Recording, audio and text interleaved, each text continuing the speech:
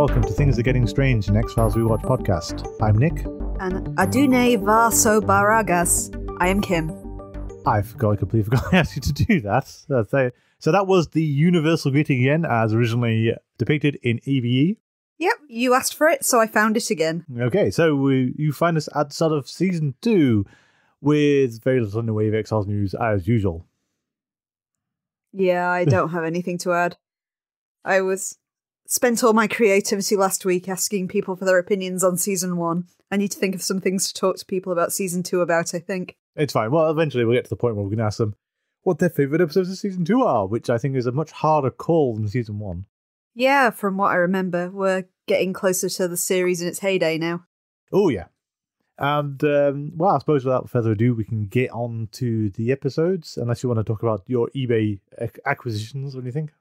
Oh, uh, that's if I win my bid, please. Nobody snipe my bid at the moment. Just trying to win myself copies of all of the um, anthologies of X Files short stories at the moment. Though I did also manage to stamp my copy of The Extraterrestrials Guide to the X Files, just because, Nick, I think you've brought it up about half a dozen times so far, and now I can read it. Maybe once or twice. I can now understand. I'll get the references. It's a, it's a very silly book, and I think it was only written like in season two kind of time period. Yeah, I've just been scouring eBay for anything I can get at the moment. As you're aware, I've been collecting the um, young adult and middle grade novels. Though, if anyone can hook me up on copies of Ascension or Colony, I'd be very grateful because I can't find those anywhere. Yeah, and also long shot, but we might as well ask at long last. It's a case of if anyone actually knows Catatonia or how to get hold of Catatonia, we'd actually love to use the relevant song as theme music, but you know, it's probably a bit more complicated than that. But if anyone does know Catatonia, please tell us. If you do know Catatonia, or can hook me up on any of the X Files novels that I cannot find anywhere, I would be very grateful. So I suppose we will get to uh, the episodes of the week. So we start at season two, and we start with Little Green Men. First broadcast on the 16th of September 1994, written by Glenn Morgan and James Wong. Hooray. And directed by David Nutter. So, uh, the first two guest stars, I think we're going to stop mentioning from this point onwards, given we know they recur quite a lot, and by now you know who they are. We've gone over what they've done. So that's William B. Davis and Mitch Pileggi. They're in it again. They're going to be in it a lot from this point onwards. The cigarette smoking man and uh, Walter Skinner. Exactly. Of more interest, though, we have Vanessa Morley, who plays Samantha Mulder. She will, um, oddly enough, and I really didn't remember it being like this, she'll won't appear again until season four, in which case, in which point she gets four episodes. Okay. So she gets to be, she'll be in Herrenvolk, Paper Hearts, Memento Mori, and Demons. She also hilariously is a dub voice on Mobile Suit Gundam Seed, uh, Cagalli Yula Athha, if I'm um, reading this correctly. I just thought it's uh, interesting. Yet another X Files actor has gone into dub work, Oh, fair enough. and and this is the kind of ironic one I, I liked. She will show up in X Files. I Want to Believe, the second film, All right. as a random FBI agent who doesn't get a name. oh, But Samantha Mulder will show up in the second film. is it actually her and Mulder's just really unobservant?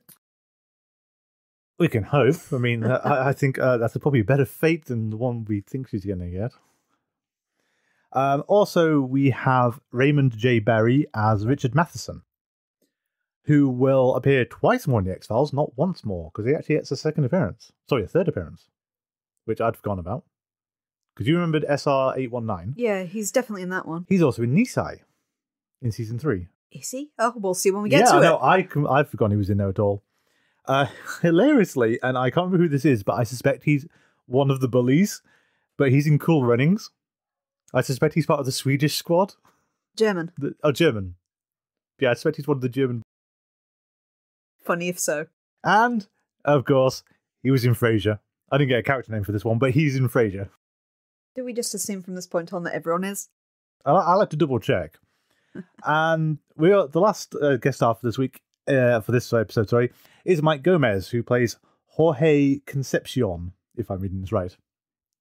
Concepcion. He's the man Mulder meets at Arecibo, then I presume. He is. He's been on Star Trek Next Generation twice, and was also in The Big Lebowski as Auto Circus Cop, and I've no idea who that was. I'll have to look, keep an eye out for him next time. Synopsis for Little Green Men. A signal is received in Arecibo, Puerto Rico, indicating a response from an extraterrestrial intelligence. After the closure of the X Files, Mulder and Scully have been assigned to different areas. Scully is teaching at the FBI Academy, while Mulder is conducting low level wiretaps. The pair meet in the parking lot of the Watergate Hotel, where Mulder admits he is beginning to doubt his belief in the paranormal after Deep Throat's death. Mulder then has a flashback to the events of Samantha's abduction. Awoken from a dream, Mulder is summoned to talk to Senator Richard Matheson, who is a patron of Mulder's work.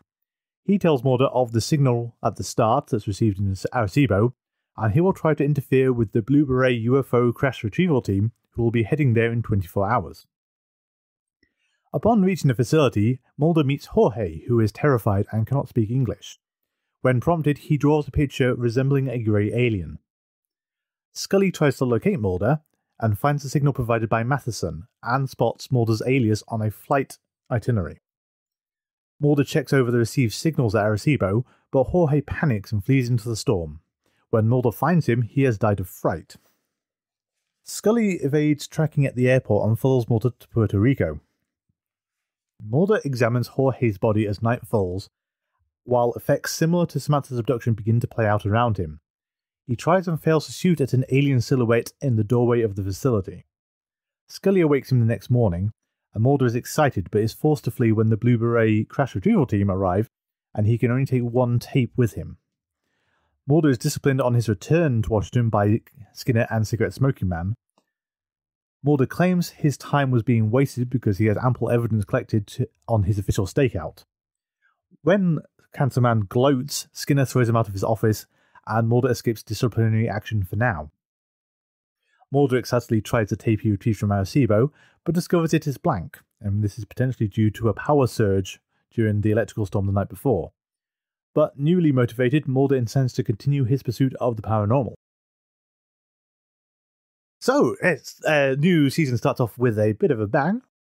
Yeah, I'm actually kind of surprised because based on what I read of reviews at the time this came out, it was kind of came out to mixed opinions. Apparently, it wasn't what people expected from the X Files, which is strange because I think it's a really strong opening for a series. Yes, well, actually, I had a thought about that, and I think I know possibly why it's not what people wanted, but I think I know why they did it. Okay, what do you reckon they wanted? I made a point in season one of saying that Pilot was obviously a pilot for the series. Mm-hmm. Deep Throat was a second pilot because basically you can come on with Deep Throat without knowing anything of what happened in Pilot. Yeah. This is pilot number three. This is your onboarding point, the last one you're probably going to get as well for the X Files. Of you can come in with almost no knowledge of the previous season, pick everything up very quickly, and get on with it. I suppose, other than the knowledge of who Deep Throat was is the only thing you're really lacking coming on at this point. Yeah, and given that he's kind of tied away in one conversation, it's a th- it's kind of thing where you can pick up a season two of something and you can get just enough of just of season one to not have to see it first. It seems strange to say this is disappointing, though, in a way, Oh, given yeah. that it's things like we see our first alien in this episode and stuff like that. That our first alien that isn't a possibly fake fetus in a jar or something like that. or you know an Amish person. Although we do have to we have to question if we're going to leap to the alien, I suppose we're going to have to. What is it doing? Really, It's dancing. It's dancing in the doorway twice, twice.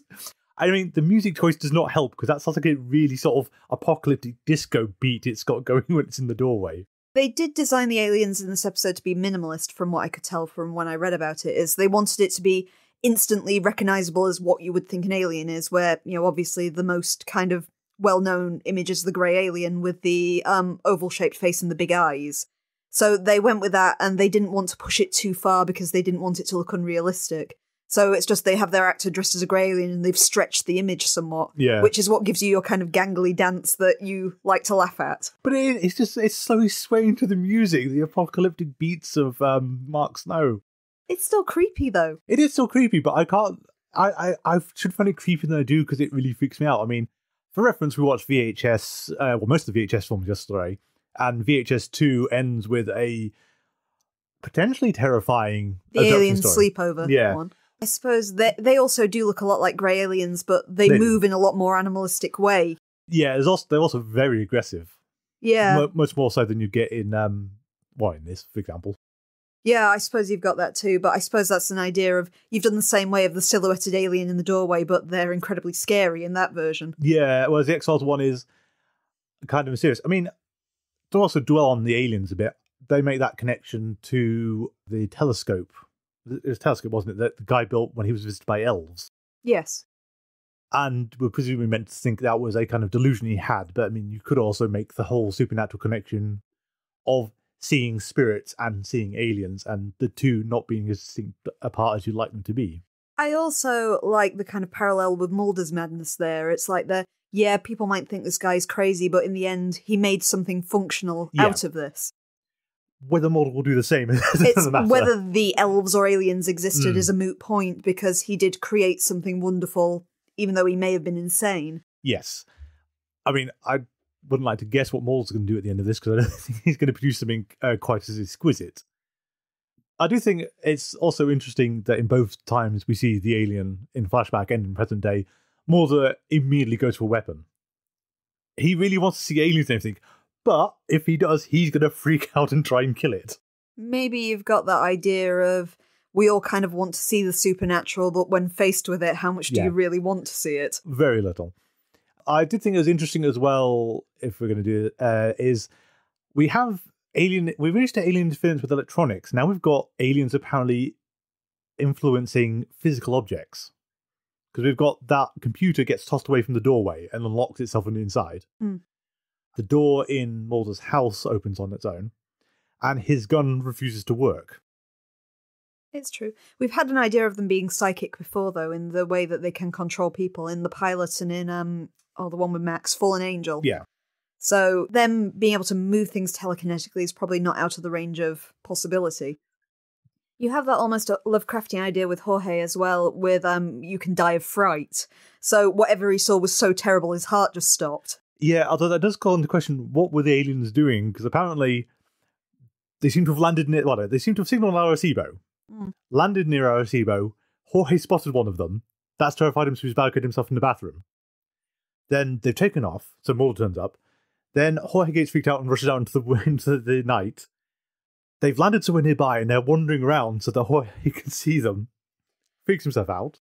Jorge's already very agitated, though. He's not in the best of way. He's malnourished. Yeah, He's been there an unspecific time, so it possibly wouldn't take a lot to give him a heart attack at this stage. True, and I think charitably you can say he didn't necessarily see anything actually out in that storm. He just thought he saw something, trick of the light, or some a, a simulacrum. My only thing with that would be how quickly he went into rigor, because optimistically Mulder says within half an hour, but it feels a lot faster than that in the episode. Yeah, I think you can give them some leeway for the whole. They've cut out the half an hour between him leaving the control room and actually. But at the him. same time, rigor doesn't normally sit in until like a few hours have passed. yeah, Even, you know, rigor can set in faster, according again to my weird search history through doing this podcast that is going to get me in trouble one day. Rigor can set in faster if you're in a bad condition, which Jorge is, Mm. but it still seems really, really fast for it to be within half an hour he's absolutely stiff dead. yeah. There's also the weirdness of the episode where Mulder enters the facility.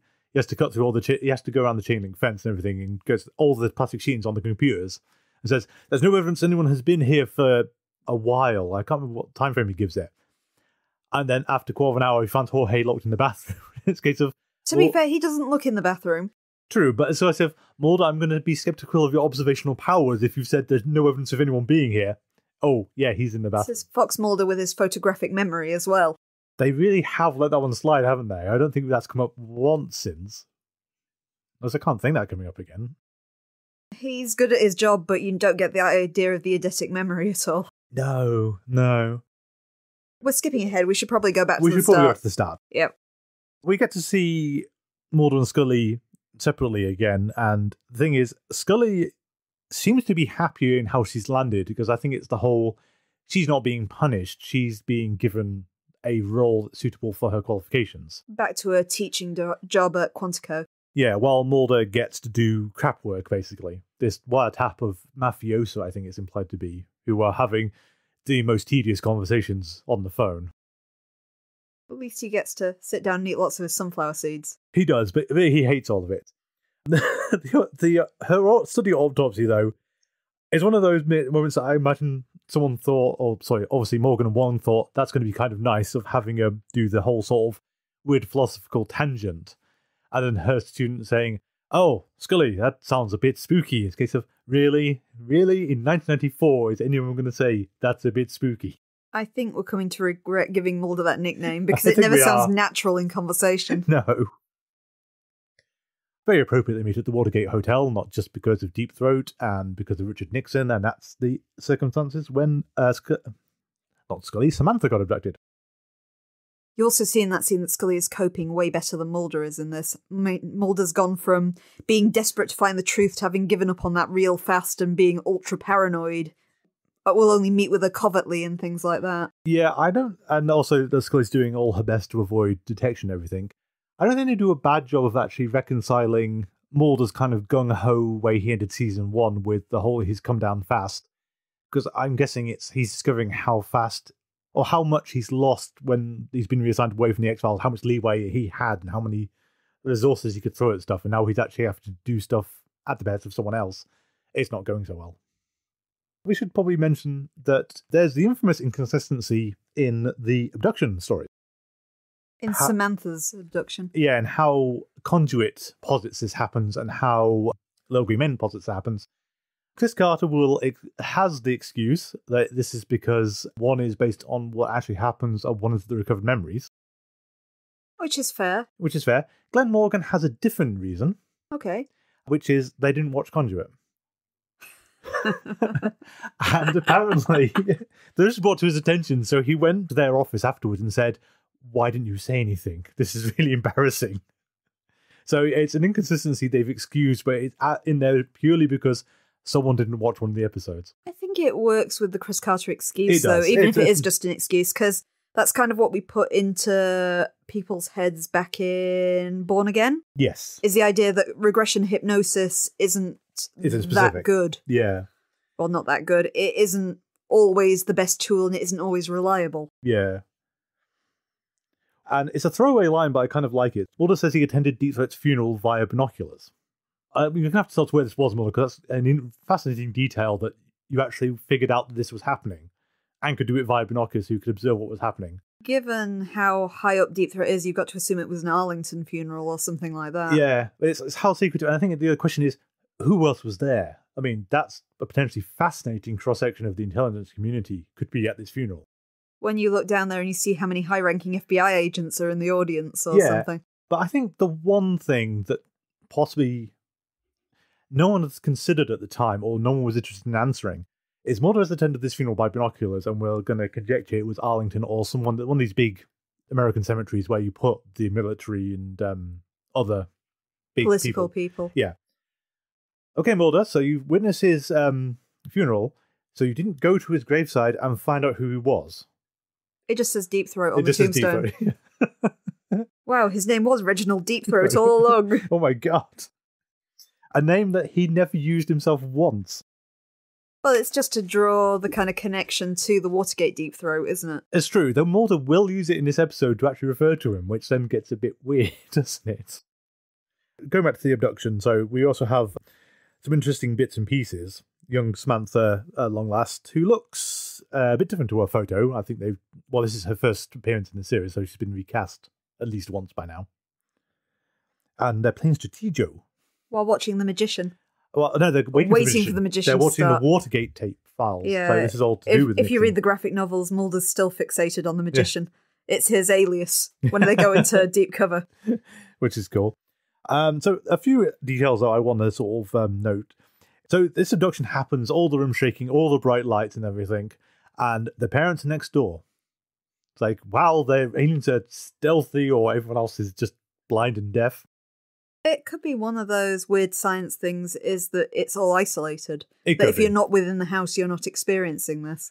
true, although you, the, the amount of flashing lights the ship, this Child ship- levitating out the window. Well, that's the other point. It's a case of I can't decide what's going on with the abduction because the alien comes in the doorway. Okay, you'd think they'd sort of come in, pick her up, and carry her out or something. But no, the alien's going to pose in the doorway and dance while Samantha levitates out of a window. It's a case of did you have to come in? Could you not stay on the ship? Is this what you do for fun? Wouldn't Also- you? well, maybe actually, yeah, this is a this is the thing in the extraterrestrials guide to the X Files after all. But it's also Fallen Angel has demonstrated you actually have teleportation. You could have just beamed her up rather than floating her out of a window. I know it makes for a great visual and everything. I'm thinking it's more like that Simpsons episode where they hose him down with whiskey before they dump him again, so he comes across as looking crazy. Well, that that's also in the extraterrestrials guide to the X Files. Case of I don't they forced me to drink 14 shots of malt liquor, and I don't remember anything after that. Come on, aliens, you can you can discredit every witness. It's fine. Senator Matheson, though. So this is Mulder's contact in Congress, the person who's been helping him out, who was referred to in pilot and then has not been mentioned since until now. Um, I have a note on this guy. Imagine it's the same as the trivia I found out about this guy. was it that he is a tribute to Richard Matheson, who wrote many episodes of The Twilight Zone. Yep. Who was Uh, also supposed to do the opening commentary on this episode, but they couldn't get him. Yep. And was meant to be played by Darren McGavin, who was Kolchak the Night Stalker, but they could not get him in for this role. Correct. They will try. Tw- they will try twice more to get um, Darren McGavin into a role and succeed one time. But we'll talk about more about that later. I love the use of the Brandenburg Concerto through the Senator Matheson scene as well, with its importance being the first song on the um, Voyager 1 gold disc. I kind of like it as the um, when he makes a good point of you know if this is the scope of humanity you're going to present to the universe, it's actually a pretty good Mm. representation thing. On the other hand, it did kind of feel this time in a way that I'd noticed before that we're being bludgeoned with it because they're making really sure that you know it was on the Voyager disc. Every opportunity is yes, this was the first track on the Voyager disc. If someone picks it up and plays it, this is what they're going to hear first Mm. just to make sure we really understand why we're going to get it played to us later. I like the paranoia as well, though, where he's uh, right, he's pretending to talk to multiple back, and it's one of these things where you have to wonder about wiretaps. It's a case of I understand there's a limit to what you can do when you're observing someone like this, but when case of okay, so Richard Matheson has dragged disgraced FBI agent Fox Mulder into his office to talk about Bach for half an hour, To listen to the full movement from the concerto Yeah. twice. and then Mulder just leaves the country. We're not going to make any connection there at all. And we got the Blue Beret crash retrieval team, uh, which also it makes me wonder because Fallen Angel was written by the same pair who wrote Conduit. Mm. Did Glenn Morgan and James Wong not watch any other episode of the X Files when they were writing things? You kind of have them in Fallen Angel. It, You do, but they're, they're, not, not, quite, named. and they're not as aggressive either. No, but it strikes me as you could have you could have linked that again That's not easy linkage back again. Yeah. that this is the same group that Mulder's tangled with before. It's very clearly not the same group, but no, but it's also kind of it doesn't make sense for them not to be the same group because No. they're they're doing exactly the same thing. and there can't be that many of them. How many UFO crashes are we having? Well, obviously you have seven crash retrieval teams, one for each color. This is the blue one. Okay, So fair enough. red beret crash retrieval team. So maybe it was the red team last time. It could have been, and I'm guessing. Well, maybe no one thought we could get um oh, the commander back in again. So interesting, also for paranoia is straight after this we get really oddly a tape of Skinner talking to Scully about Mulder's whereabouts, being listened to by uh, Skinner, and it turns out it's his uh, cigarette smoking man is asking where Mulder's gone to, and also Cancer Man is apparently an advocate for Morley cigarettes because he's really disappointed if you don't smoke. I liked that as a kind of small insubordination. Yeah. Is, you know, Skinner is not so under the thumb that he will do everything Cancerman asks, including accepting the So- cigarette. It's the small rebellion that shows that Skinner isn't entirely on his side. Yeah, well, which will come in at the end of the episode when Skinner very abruptly just stands up to Cancer Man when he starts gloating. More so in the host too, but we'll get to that in a little while. Yeah. I've got to wonder, and it it's just one of these things where 90s technology kind of clashes with possible referencing. So Mulder's got a dictaphone that he's talking on. Scully, Scully's done this in the past. But you've got to wonder if this is a Twin Peaks nod. Yeah. Because it's to the un, un, unseen female um, friend that he's going to send this tape to afterwards. Yeah, of course. Scully's also still really great at guessing passwords in this one. She is. I mean, I, I do remember that after this episode, basically, if you found an X Files fan and they had a password on their computer, because this is before Windows used to enforce that kind of thing, is you'd have a pretty decent chance of getting access to someone's files if you tried to trust no one. Or trust number one, as you say it. Trust number one. Yep. I did like her wrong guesses though, which are Spooky and Samantha respectively. Both terrible passwords, but It's the um, movie hacking thing where you've got to get it wrong twice before you get it right. Scully apparently could have a career in stage magic because she's pretty good with that printout. Oh, I like the feeding the fish bit as well. It's a good. What's he excuse. doing in here? Oh, uh, when Mulder's away, I feed his fish. So Scully, are there fish in that tank? I can't quite see. it's great that we're seeing Scully kind of getting more in this, though. Uh, Yeah. The Scully at the start of season one would have immediately given in and told those kind of men in black everything she knew. That's true. Yeah, She's compared, far more on side and far more thinking like Mulder. In the same way, he's kind of accepting that he needs evidence now, and he's thinking more like Scully. yeah, oh yeah. Contrast this to Conduit, where she threw the family under the bus when she was told to. It's how many times in early season one she throws Mulder under the bus too. She'll only go with him so far, and now you're getting more the feeling of she's got Mulder's back all the way. Yeah. So the the printout would be our signal we received at the start. There is this slight weirdness here of they've got a copy of part of it here from the Arecibo array, but Mulder has to go to Arecibo. There's no way of getting the rest of the signal up here. I'm a bit confused. We are working on Mulder logic here. we are. And they bring up the WoW signal, which is a, a very is an interesting quirk of radio uh, astronomy. and is real. and Israel, the 1977 WOW signal, which was uh, 30 times stronger than the background radiation. And basically, it sort of in, sort of provoked the reaction from the guy who found it. Just comment "wow" beside it in the margins because it was a signal unlike anything they'd sort of detected before. It's often there are explanations for the WoW signal, Yes. but people often take it as the best sign of extraterrestrial life. Yes, and it's a, a decent jumping off point because of this. Uh, this episode, of course, has to have this signal you've got from Arecibo is even better. I liked the grounding in real life projects in this as well because it makes reference to the SETI project and Yes. things like that, uh, which again is real, um, a real kind of um, scientific study into the possibility of extraterrestrial life. Absolutely, and also um, Arecibo is, of course, a real location. Uh, Uh, no- Most seen in Goldeneye. GoldenEye. Yep. No longer in operation, sadly, but at the time, a lot of X Files fans were very annoyed that Arecibo was depicted as a nickel and dime SETI project in a shed somewhere, because it's an enormous dish, if you've seen GoldenEye, when they run across it. And it was an enormous research centre at yes, one it was a bus- at the time this episode was set, it was a bustling, very heavily trafficked, and a lot of people there. Your equivalent in the UK would be our Jodrell Bank, but Yeah, it's well- way bigger than Jodrell Bank, even, and things like that. and Jodrell Bank is still going. I do like Scully's kind of cunning here as well, though, afterwards. Of so she's got a list of where the other SETI projects are. She just cross references those destinations with the itineraries of everyone who left Washington and finds one of Mulder's aliases. And amongst the names visible on the flight itinerary, a lot of them are apparently X Files fans.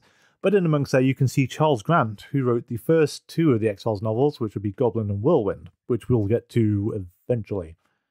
Uh, so there's some good tension though with sort of the build up as night starts to fall at Arecibo with the whole the signal is coming from close by and um, sort of closer by than you'd think. This does lead into an interesting conundrum the X Files has here. So this has been presented as a response from the aliens.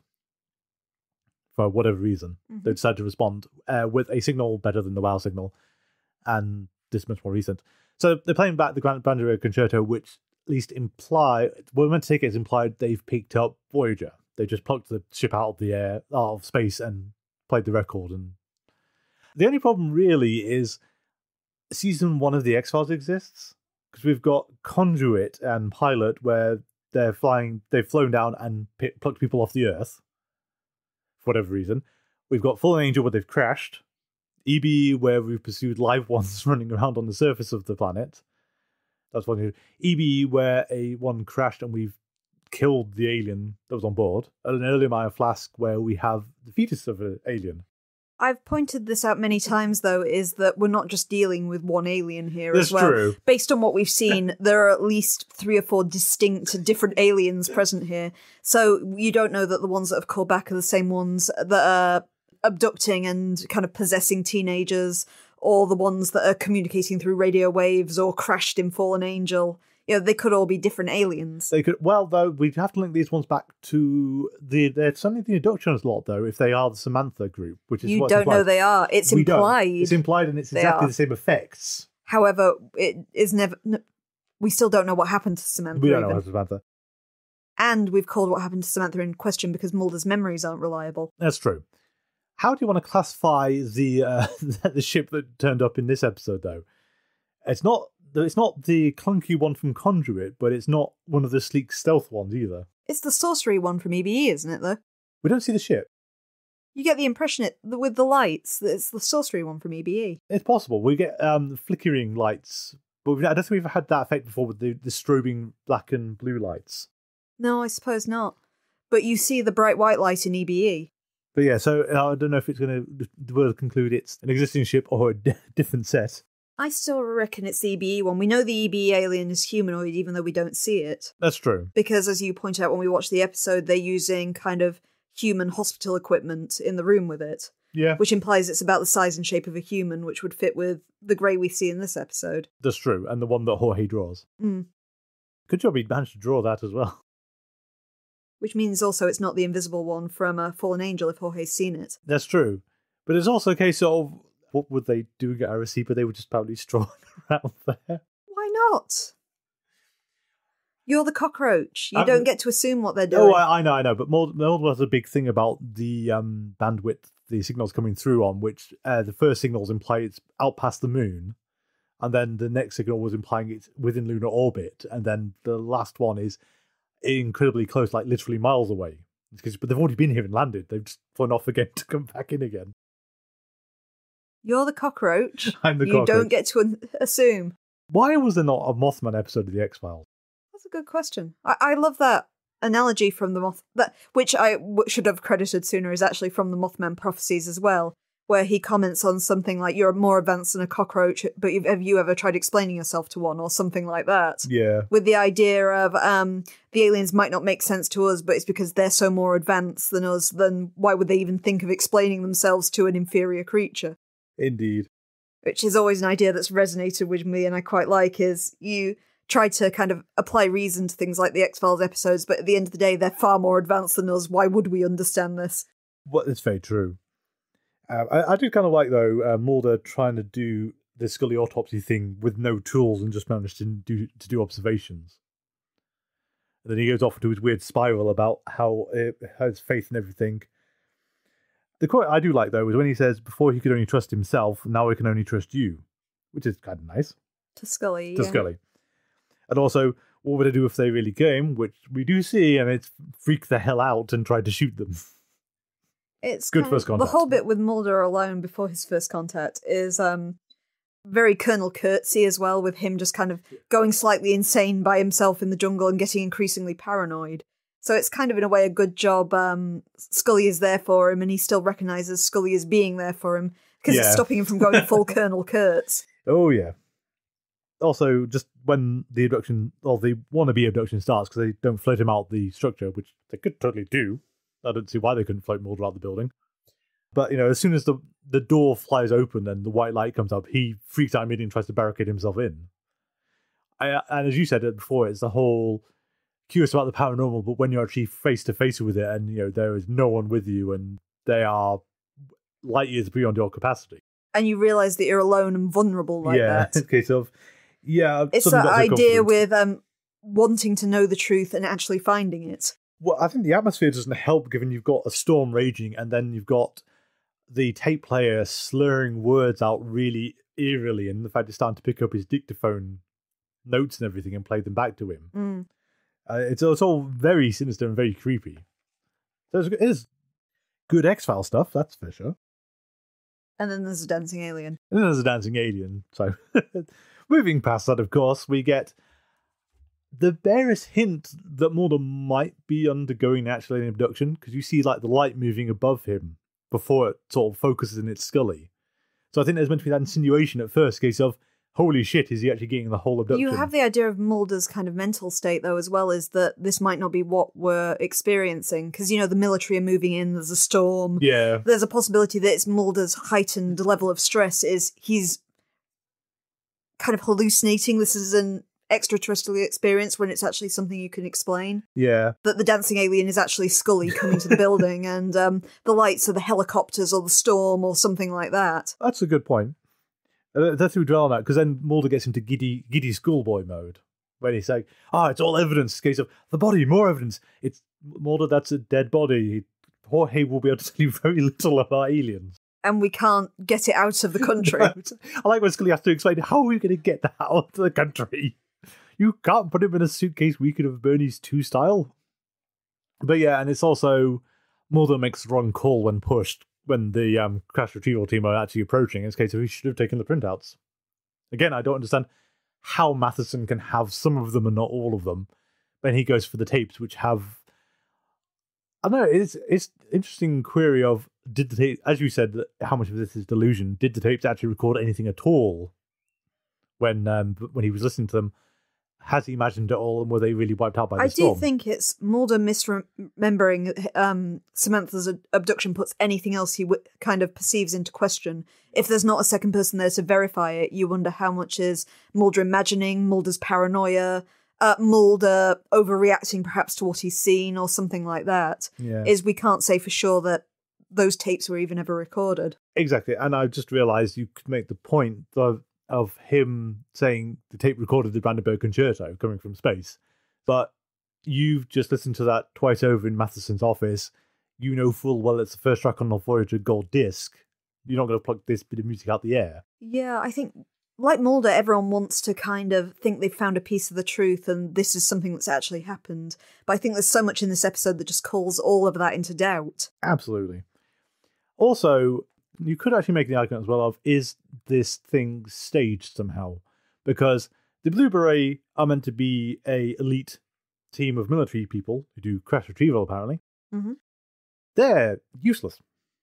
These are two FBI agents in a truck who completely outdrive them and Completely outmaneuver them. fail every stealth roll Yeah. using my D&D analogies. Yeah, drive yeah. straight down the hill, get out from a, a group of people who are apparently meant to know what they're doing and be very good at their jobs. And nope, We know that it's not above this kind of shadow government to fake things as well because of the um, faked alien transport from EBE. Yeah, but they definitely do shoot Modern Scully because they, they, I don't I don't think they even shatter the back window of the car. Was it? Is it all just a front to sort of make Mulder believe in things? Or are you getting paranoid now? Ooh. So it turns out that if you'd actually looked at the outside of Arecibo, there's actually like strobe lights set up all around the outside. Yeah. Two people on either side of the building just shaking it slightly. yeah, it turns out they're actually all false walls. You can just knock the whole thing sideways. I mean, that's why Jorge's in the bathroom all day. He's a paid actor. No, I think we're going to take it as serious. But yeah, well, then we get the nice um, scene with Skinner and um, Cancer Man, where Skinner oddly sides with Mulder, which is Mulder doesn't seem to take on board that Skinner's on his side. Well, he wouldn't. He's decided Skinner's the enemy. I know.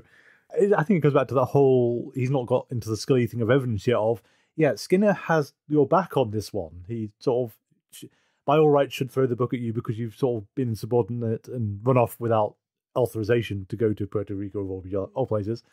Cancerman's gloating that you've got nothing.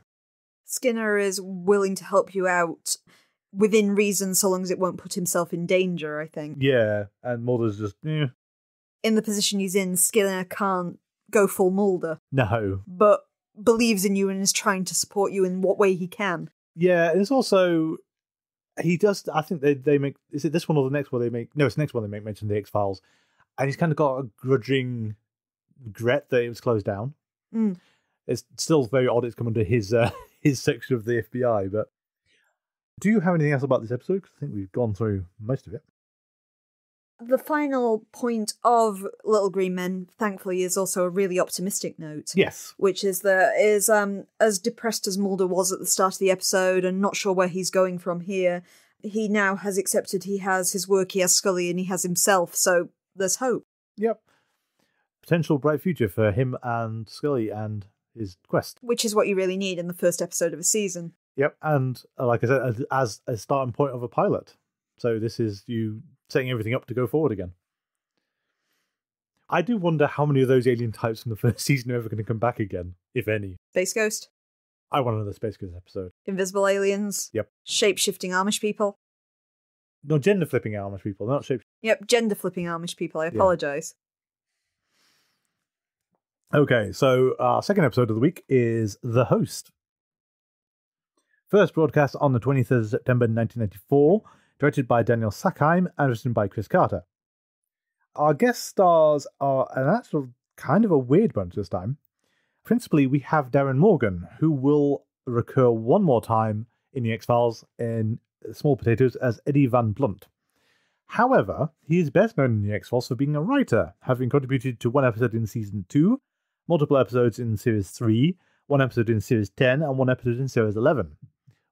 Matthew Bennett, who played Craig, who was the uh, worker who got bitten, is in Orphan Black as Daniel Rosen, who I've forgotten who that is, but he was in Due South twice as Jack Goody and Special Agent Casey. We also have Stephen Williams, who wouldn't give the character name yet, given we know he's going to be an ongoing guest star for a while. But he's a voice on the phone, and that's all we're safe now. He's in multiple future episodes, but of other things you'll have seen him in. He's in the Blues Brothers as Trooper Mount, who I think is one of the pair of policemen who John Candy gets to help him out. He's in Jason Goes to Hell as Creighton Duke. He's in 22 Jump Street as Captain Adam Fuller. It's been too long for since I watched 22 Jump Street. Uh, he's in It Part 1 as Leroy Hanlon. Who's Mike's father? Yep. And he's in Birds of Prey as Captain Par- Patrick Erickson, who I'd completely forgotten was in there. Oh, sorry, not Mike's father, Mike's grandfather. Mike's grandfather, but it's not one of the Hanlon family. Mhm.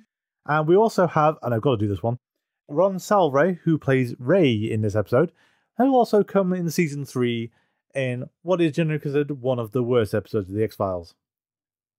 Teso dos Bichos. I've managed to block out Tesos dos Bichos. I'm sorry, but Re- um, he will appear in that episode as well. Uh, Poor and- man. Poor man. I know though, and it could be my search history, but it does seem to be consistent across all of them. Is all these bit parts, if they're not on Wikipedia, if you look up them on IMDb, the photo at the top of their page is always of the X Files. For these pe- pe- people, apparently the X Files is the pinnacle of their careers, or always listed on the top pictures. It's great. Glad to hear it. Would you like to do the synopsis for the host? I will do my best. Our cold open this time takes place on a Russian freighter which is just off the coast of New Jersey. A younger crewman is forced to make repairs to the ship's overflowing toilets, much against his will, and is pulled into the septic tank. Some time passes and his body is found in the sewers of Newark. Mulder is assigned the case by Assistant Director Skinner. Mulder is really down on this. He thinks this case is just a mob hit and it's beneath him, and thinks that Skinner is just trying to find further ways of punishing him. Scully tries to get him to think more positively about this and offers to autopsy the body for him, hoping that she can kind of pick up Mulder's spirits because at this point he's on the verge of quitting the FBI. Uh, evidently, things have not got better for him since Little Green Men, and his positivity from the end of that episode seems to have already gone. When Scully does the autopsy, uh, she finds a tattoo written in Russian language on his arm that she doesn't translate at this time. She also finds a very large fluke worm inside his liver. Later in the episode, she reveals that those fluke worms only usually grow to be a few centimeters, but this one's about a foot long. Meanwhile, in the Newark sewer system, a city worker, as Nick said earlier, whose name is Craig, needs to be rescued when he's attacked by something that he believes to be a python and pulled under the water. He visits the doctor, who gives him antibiotics for the horrible things he swallowed, and examines his back where he thinks the python has bitten him. There is a very large round wound on his back that does not resemble a snake bite, but the doctor believes that it might be some kind of bite, although they can't identify it. When Scully later tells Mulder about the fluke that she found in the Russian guy's liver, Mulder realizes that they have a similar kind of mouth part, although the thing that bit Craig is much, much bigger. Later that night, Craig does die in the shower, quite graphically after coughing up another of the fluke worms. Mulder visits the sewage processing plant and speaks to both Ray, the foreman there, and Charlie, who is an elderly sewage company worker. The three of them, while investigating the sewage processing plant area, discover a large humanoid creature crammed in the tank uh, that does have a kind of flukeworm ish mouth. Meanwhile, while working at Quantico, someone shoves a newspaper article under Scully's door but runs away before she can see who it is. The newspaper article gives her the information she needs to realize that the writing on the um, corpse's arm is actually his own name in Russian. This, in turn, allows her to identify the body and realize where he came from. Mulder and Scully reconnect, and Mulder shows her the flukeman who they now have in captive. Skinner is determined to prosecute the creature and subject it to psychiatric evaluations, but Mulder thinks that the flukeman is more of an animal and this will be impossible to do so. Regardless, they start to transfer the creature under Skinner's instruction to an appropriate psychiatric facility. However, when the creature is transported by the van to the psychiatric facility, it manages to slip through its restraints because its body is very slimy and presumably kills the driver of the van. We don't really see what happens, it's off screen. Meanwhile, it scampers away to a local camping site and hides within a portable toilet, somehow knowing that it will be gathered by a sewage vehicle which will transport it back to the sewage plant. The creature's end goal appears to be getting back to sea. Mulder receives a call from a mysterious man who tells him that the X Files must be reopened and also that he has a friend at the FBI. Um, Scully later connects this to potentially being the person who slipped the paper beneath her door earlier. Scully has also investigated the fluke worm she discovered earlier and realized it's a larvae. From this, she decides that the fluke man itself, the humanoid creature, must be attempting to reproduce, and this is how it does it by biting other people. Mulder realizes what the creature is intending to do and that they can't allow it to get back in the sea and lose it. They need to dispatch with it now. Mulder and Ray pursue the creature down into the sewers. They don't see any sight of it, but reach the storm drain, which is open. They try to shut this, but in doing so, Ray falls into the sewage water and is attacked by the flukeman. Mulder dives in after him and manages to save him, and also closes the door of the storm drain in the nick of time, slicing the flukeman in half. As the two of them um, conclude what they have discovered over the episode, Scully hypothesizes that the Russian freighter was hauling salvage material from Chernobyl, and therefore the creature was possibly created in some kind of radioactive slurry that they were transporting. Mulder also speaks with Skinner, who reveals the fact that he is not really Mulder's enemy, although Mulder doesn't see it that way. Skinner is doing everything he can within his power to help Mulder, which included putting him onto this case, although Mulder didn't realise it was an X Files at first. Skinner identified it as such, and Skinner is trying to help him in what little way he can. Meanwhile, in the final sting of the episode, we see the upper half of the flukeman's body floating out to sea and its eyes open. Listening to the synopsis, I had the realization that we are kind of. Well, it's a good episode, I would actually say. Chris Carter doing a good one again. Same time, we're kind of treading water because Mulder's already backslid from Little Green Men. Yeah, I thought that when we watched these two episodes back to back, is that Little Green Men ends so full of hope, and Mulder's immediately, that's it, I'm quitting the X Files by the start of the next episode. I mean, there's commentary on uh, Little Green Men how it was going to be Chris Carter writing it, and then it got reassigned to Morgan and Wong. And it seems that Chris Carter didn't actually sort of rewrite the episode to take Little Green Men into account, and basically, this is how we're going to open this season anyway. Then again, Chris Carter was also going to send Mulder to Moscow for the series opener, which would have been very different kind of opening. I think Arecibo is a bit cooler. Yes, I did forget to note before as well. It was based, on, partially based on an unmade script that Morgan had written many years ago about a man who went down to a Mexican telescope. Okay. That's the only detail that's given about it, and basically parts of it were cannibalized into Little Green Men. But anyway, so also this episode, I like it, but it's also weird as hell. It's great. It's utterly, utterly revolting and great body horror. It's an absolutely fantastic Monster of the Week episode. Did you happen to pick up where the inspiration for it came from? Go on. Uh, Chris Carter's dog had worms. Basically, like that's it. all I need to know, really, isn't it? Yeah. Of... Anyone who's experienced a pet with worms, it's like, yep, understand. Yeah, it's totally. absolutely horrible. I don't like this at all. the biggest laugh, I think, when we, when we watched the episode was when Scully figured out what the tattoo was, and it's Dimitri, you have a tattoo of your own name on your arm. It's handy for identification purposes. It is, but who has their own name tattooed on their arm? I mean, I think also you had that trivia that the engine room of the freighter is a. It's a hydroelectric power yeah, plant. Yeah. That they they couldn't find a boat to shoot it on, mm. so it is. It, it's convincing. You oh, yeah. believe it was the engine room of a boat. Oh yeah. But it's it all... is a hydroelectric power plant. I mean, I I'm not sure where I got hold of the idea of it. I'm certain the first time I watched it, that cold opening was missing. Oh, really? Yeah, I can't remember if that's because I watched someone taped it off Sky, because a friend of mine used to do that for me, or it's because it genuinely was broadcast without the cold opening. But yeah, I know they had some Fox censorship issues with the episode, but it was primarily for Craig's rather horrible death. yes, Is Fox did not want to show him coughing up the fluke worm. I think there was speculation the BBC would cut it as well, and it didn't actually happen. It's not overly graphic. It does cut away. You don't actually find out he's died until later in the episode, but Uh, it is remarkably unsettling to see him cough up a foot long fluke worm. It is, and I, I kind of like also the neat little um, nods they've got of the whole.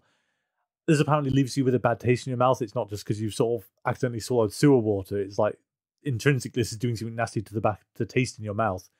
With the whole sort of he tries to all the gum, then he just starts squirting toothpaste into his mouth. I think it's more akin with like the xenomorph in Aliens, Yeah, is when you've got the weird set of symptoms before that kind of chest burster comes out. yeah. I wouldn't be surprised if that was an influence. I think it's particularly in the fourth one where the guy's getting blood in his mouth beforehand and things like that. Yeah. You've got that idea of it slowly affecting you, and then you hook up a fluke worm. yeah, which is really really horrible. It's kind of cute though. Yeah. I, I do like the little fluke worm in a jar. I like I think it's quite sweet. I'd keep one as a pet. Well, I mean, it, as long as it doesn't grow up to be you know Darren Morgan size, I think you're okay. They called the actual fluke man monster on set Fluky, which I think is kind of adorable too. I mean, there is also the nepotism involved because this is uh, Glenn Morgan's brother. As Darren Morgan. Yep, there's Yeah. Darren Morgan. I didn't realize they were the same Morgan. Yeah, the same Morgan. That's how that's Darren Morgan, who we will be discussing an awful lot later on, um, got his break on the X Files by playing Flukeman.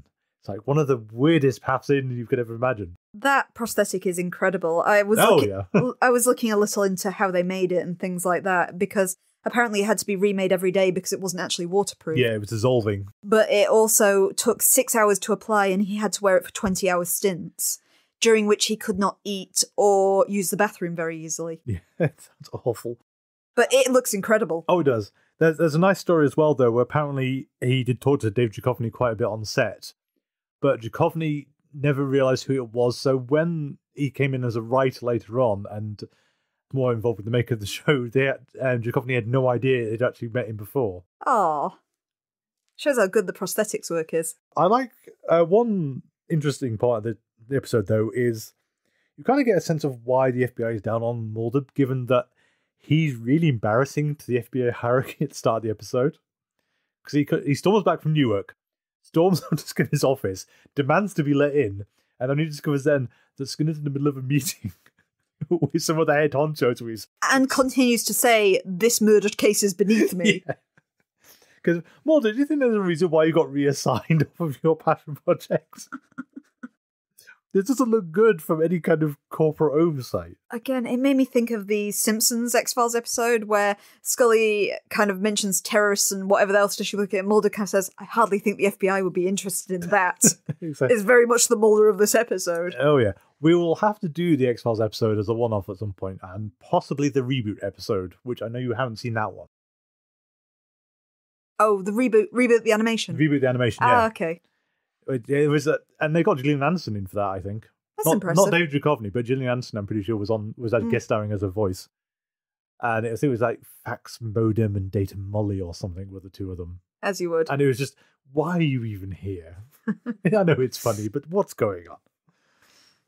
I do like Scully being kind of trying to be the helpful person, the sort of again, it's the whole this doesn't follow from Little Green Men where Scully's trying to bu- buoy up more the spirits by saying there's an autopsy she's done, isn't there? I can do the autopsy. I can find out what's there to be found.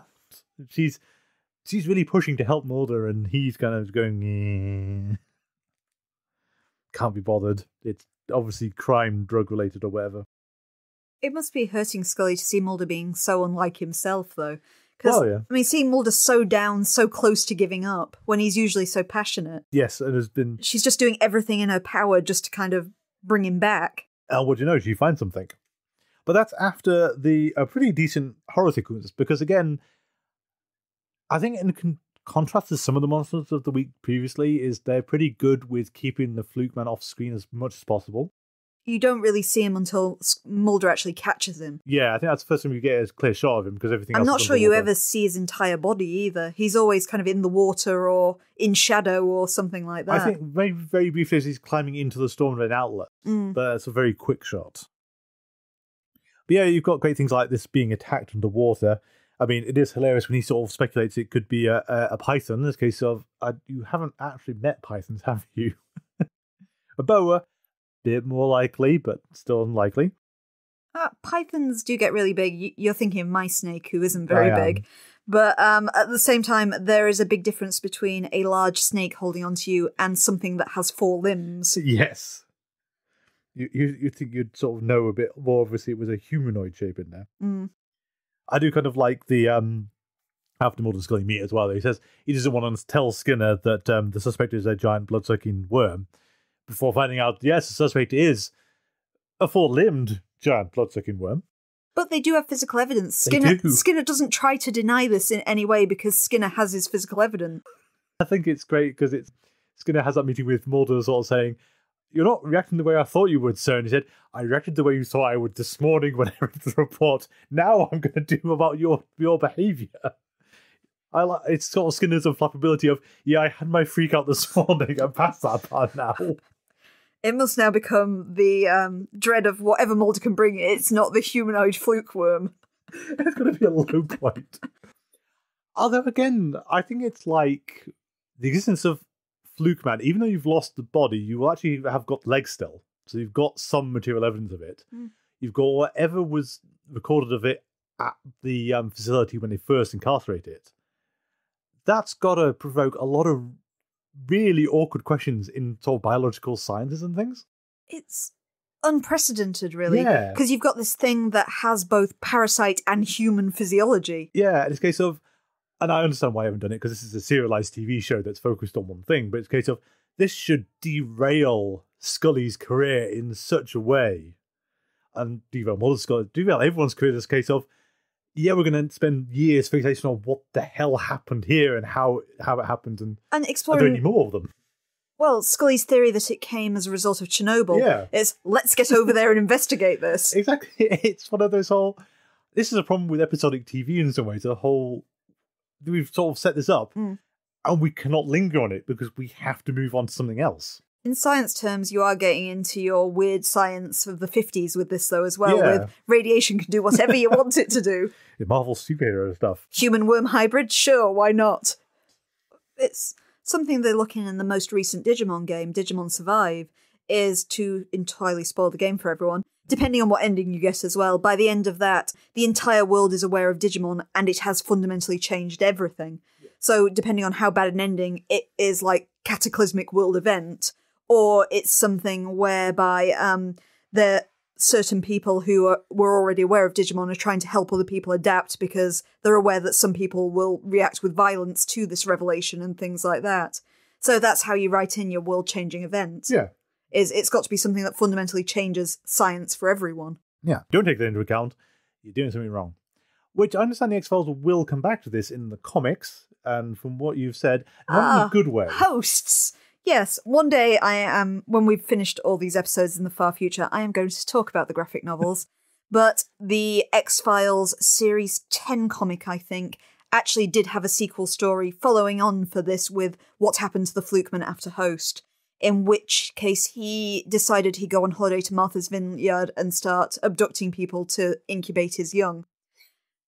But into that, it does show you the origin of the Fluke Man as well. Indeed, he was created in Chernobyl when a man fell into a vat of radioactive flurry, gestating the first Fluke Man, which gained his physiological things, because that's how evolution happens. Absolutely. You fall into a radio vat, that flu- liver fluke you already had, therefore evolves into a human alien hybrid, because apparently we're working on toxic crusader sort of logic here.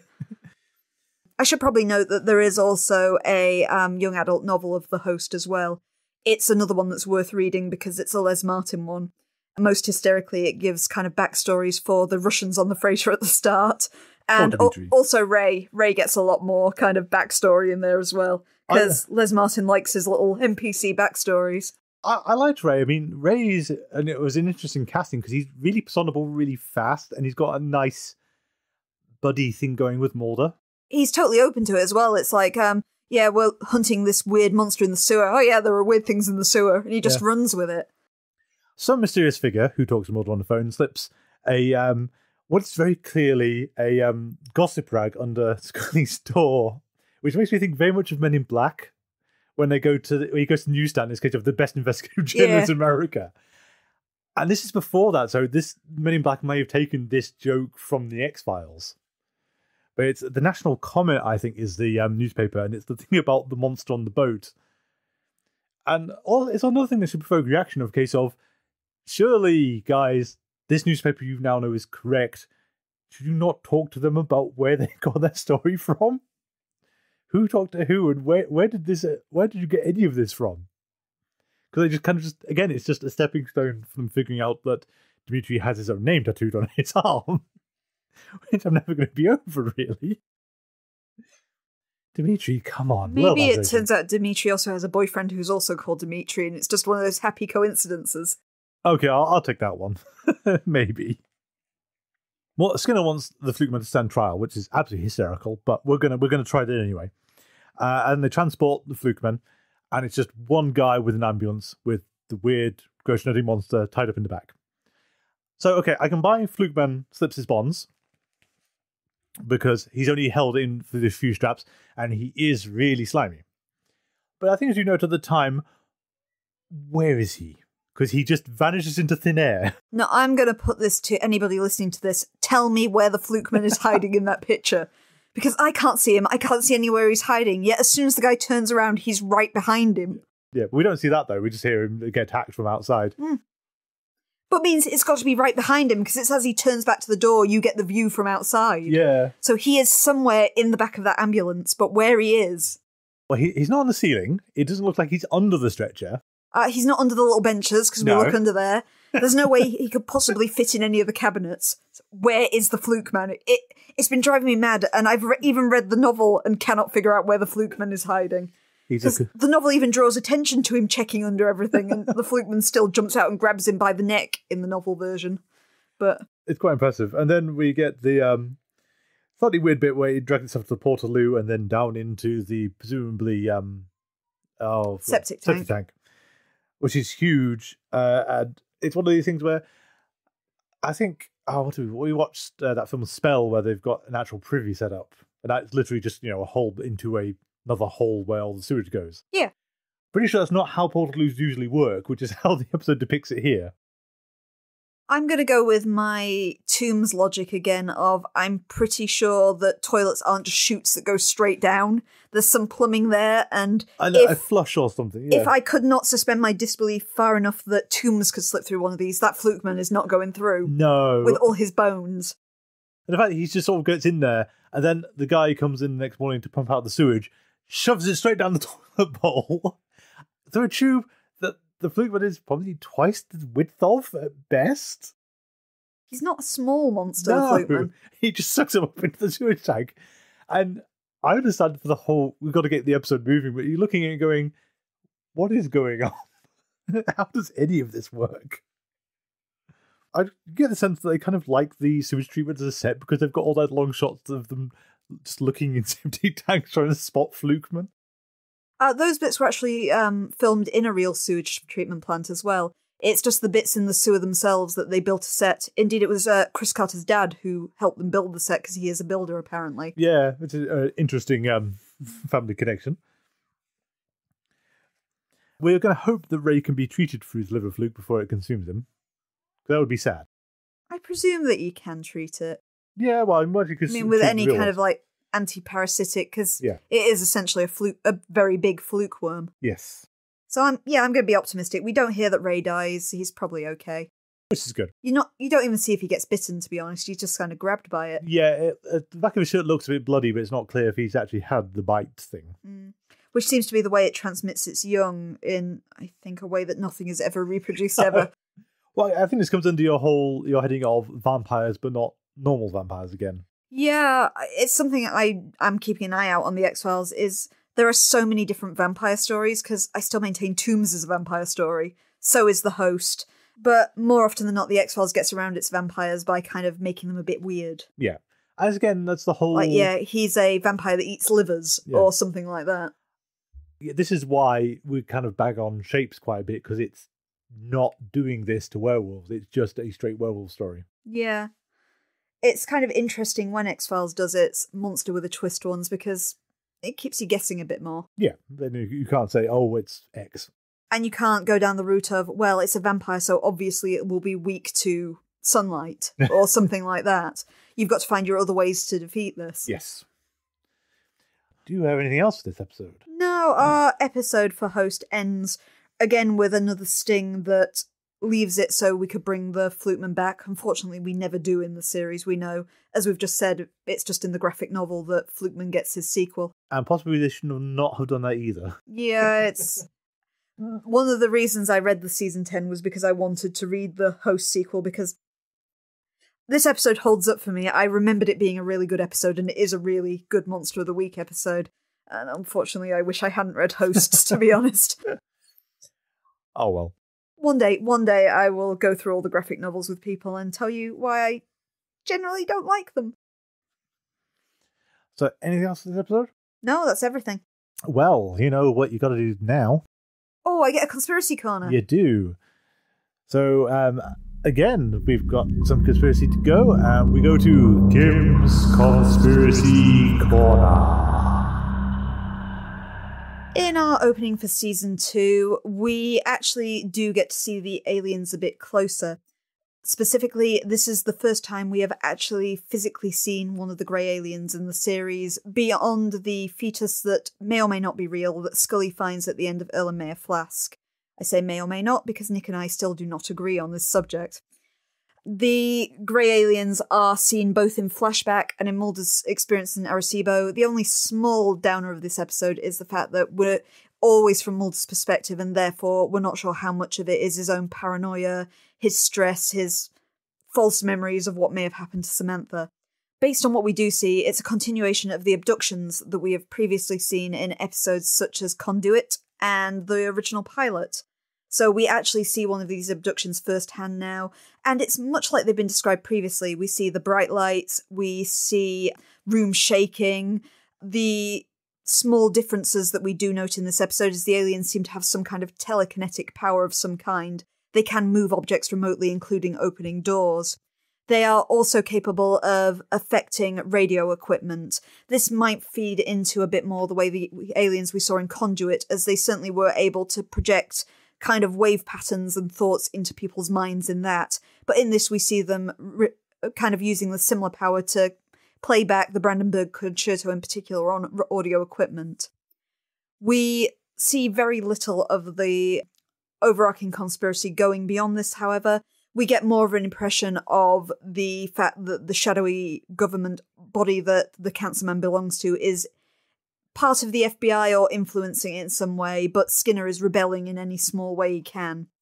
We also learn in Host that Mulder does potentially have another informant. At the very least, he has a friend at the FBI, though it's unclear in this episode if the person on the phone is referring to himself or if he's perhaps referring to Skinner, who is still doing his level best to help Mulder out. Thank you. Is there anything you'd like to add? I think that covers everything for now. We're not sure if we can link these aliens to anyone else yet. I think conduits are closest. Conduit's probably the closest, given that did um, Holy also revolve around Samantha to a large degree. You've got conduit and also possibly Erlenmeyer Flask if that fetus was genuine. Yep. And uh, I think we do also have to put a note on um, Mr. and Mrs. Mulder's hearing and vision, given that this happened next door. I'm gonna go. We know the alien. Know. well, we go don't know that. the aliens are psychic, but a lot of the aliens we've seen seem to have some kind of psychic powers. So I'm going to go with this is localized and it's not affecting a large area. You're experiencing it like if you're directly under it or something like that. That's true. Like think of it, the cone of silence from Get Smart. of all things. yeah, Yeah, no, that's fair. That's fair. See, the, the aliens um, actually the cone- lowering the cone- lowering the the cone cone of of silence. silence. That's why those little um, beam things you see in cartoony UFOs are always cone shaped. Oh, okay. You you realize, of course, the terrible thing you've opened up for now. Oh no. The aliens have shoe phones. Canon. That's canon. Okay. Aliens have shoe phones. Not the aliens seem to wear clothing ever. But they'll have somewhere, like shoe phone space to keep their shoe phones in. Why they've got shoe phones? Just because you don't understand their technology, Nick. That's true.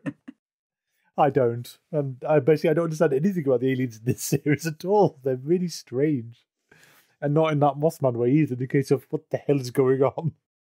All will come clear or not in the passage of time. Okay, I think that's everything we've got for this week. Yep. Okay, uh, our email address, if you had to talk to us, and if you do know Catatonia, is things are getting strange 42 at gmail.com. You can also reach me on our social media. Our Twitter and Tumblr usernames are GetStrange42. On Mastodon, we are at GetStrange42 at universeodon.com. And on Facebook, you can find us just by searching for Things Are Getting Strange and X Files Rewatch podcast. Again, if you do have access to either of the upcoming novels that I can't get, that's the one that covers Ascension and the one that I think is called Hunters, which covers Colony and Endgame. Please do hook me up. I cannot find them anywhere and I'd love to read them before we do the episode. Yeah, hopefully someone can help out. Our theme music is Envisioned by Kevin MacLeod. You can find that on Incompetech.com and it's licensed under the Creative Commons by Attribution 3.0. Thank you for listening. And next week we are watching Blood and Sleepless, if I remember right. And until next week, The, truth, is out there.